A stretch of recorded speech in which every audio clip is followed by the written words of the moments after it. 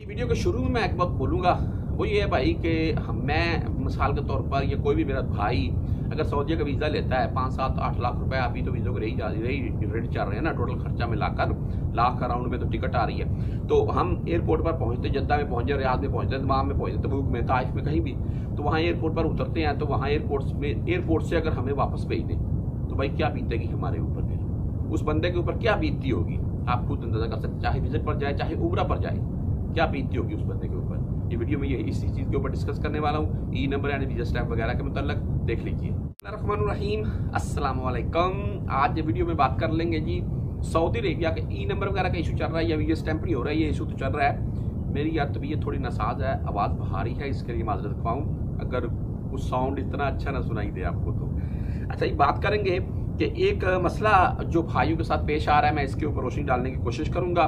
देखें, Saudi Arabia से सबसे पहले मेरे पास ये पासपोर्ट है जी, मेरे। ठीक है जी? और मैं अभी एक चीज़ में देख रहा था, ये वाली।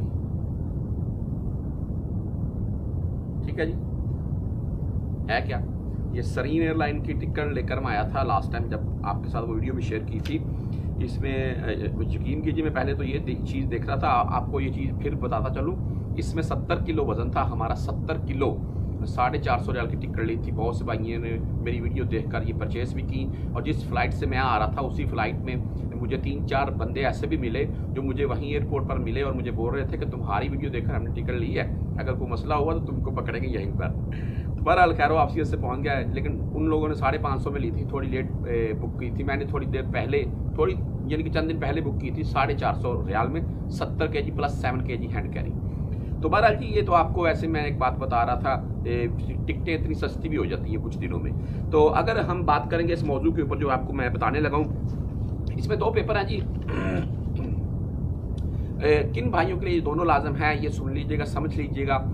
अगर आपका वीज़ा स्टैंप नहीं हो रहा है, आपका ई नंबर नहीं लिख रहा है ई नंबर नहीं निकल रहा है, या वीज़े का वकाला नहीं बन रहा है तो क्या ये मसला तो नहीं है आपके साथ? और इसके अलावा दूसरी बात ये है जी जो मेरे भाई सऊदीया से आए हैं जी, सफारा से ये आउटपस बनाकर हरूब की सूरत में या हरूब की सूरत में डिपोर्ट हुए हैं या तरहील हुए हैं, या बदून कफील पकड़े गए, या इकामे एक्सपायर थे, पकड़े गए और डिपोर्ट कर दिया, या भाई इकामे एक्सपायर थे एजेंट को पैसे देकर आ गए, या इकामे एक्सपायर थे, सफारा से जाकर क्रूज लगवा कर आ गए। वो तमाम बंदे उन, वो तमाम इसी जुमरे में आएँगे। खासकर ई नंबर वाले, जिनके ई नंबर नहीं निकल रहे हैं या वीज़ा स्टैंप नहीं हो रहे हैं, उनके लिए ये वीडियो काफ़ी कारआमद है। उसकी भाई, वजह ये मैं बताऊँगा। उसकी वजह ये है कि अगर ये मसला हुआ आपके साथ तो आपका भाई ई नंबर नहीं, फिर ई नंबर का वीज़ा स्टैंप नहीं होगा। सबसे पहले तो ये पेपर है जी, ये खरूज वाला पेपर है भाई जवाजात खरूज वाला पेपर बोलते हैं इसे। ठीक है? इसके मतलब हम काम करते हैं। मैं आपको पेपर दिखाने का सिर्फ़ मकसद ये था जी, कि आप भाई, भाइयों ने अगर खरूज वाला पेपर निकलवाना है ना अपना तो इस टाइप का होता है, इसके बैक साइड के ऊपर बाकायदा जवाजात की मोर मोर शुदा होता है ये पेपर और दूसरी बात ये है भाई एक, एक चीज़ और क्लियर कर दूँ मैं वो ये है जी कि ये खरूज वाला पेपर आपको जवाजात से मिलेगा। एक आउट पास मिलता है अक्सर बंदे उससे खरूज वाला पेपर समझ लेते हैं वो नहीं होता है। ये क्यों आपको खरूज वाला पेपर मैं बोल रहा था? ये इसलिए बोल रहा था कि ये भाई आपने सऊदी अरबिया से जब आना है आपने साथ में लेकर आना है। नहीं लेकर आए या आप निकलवाना चाह रहे हैं वहाँ पर भी रह के तो हमसे भी निकलवा सकते हैं। व्हाट्सअप नंबर आपको दिखा रहा हूँ मैं। ठीक है, ये क्रूज वाले पेपर के फ़ायदे ये होते हैं। इसके ऊपर पूरी डिटेल होती है आपकी और नंबर दो ये कि आपको वहाँ एयरपोर्ट के ऊपर पूछा भी जा सकता है। नंबर तीन ये कि पाकिस्तान में जब आप आकर न्यू वीज़ा परचेज करेंगे ना तो ये पेपर आपको ये क्रूज वाला लाजम चाहिए। ये एजेंसी वाला जो एजेंट आपका होगा ना, वो आपको बोल देगा क्रूज वाला पेपर अपना लाएँ। तो व्हाट्सअप नंबर मैंने आपको दिखाया है। आपने अगर ये निकलवाना हो तो हमसे निकलवा सकते हैं। नंबर दो है जी ये पेपर ये है क्या? ठीक है?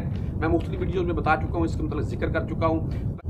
अगर इस पर, इस पेपर के मतलब मैं ये बोलूँ ना, कि ये भाई, आप सनद है, सनद।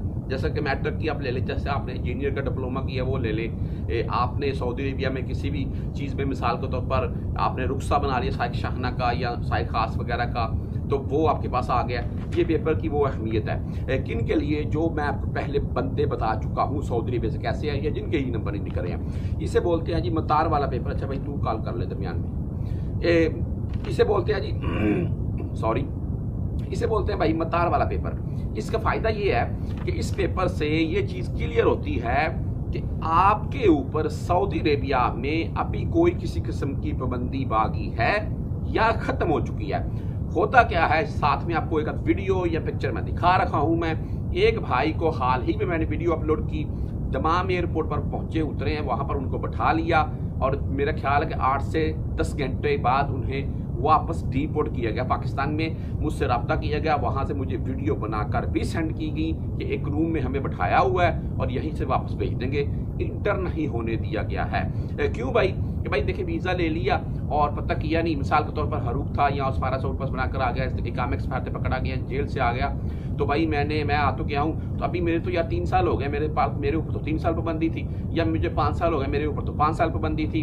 मैं तो भी जा सकता हूँ, या एक साल हुआ तो मैं उम्र के लिए जा सकता हूँ। देखिए, इस पेपर का फ़ायदा ये है कि इस पेपर से ये चीज़ें क्लियर होगी कि आपके ऊपर अभी कोई पाबंदी है या ख़त्म हो चुकी, अगर तो ख़त्म हो चुकी, आप न्यू वीज़ा लें, ये पेपर क्लियर आपको बता भी देगा।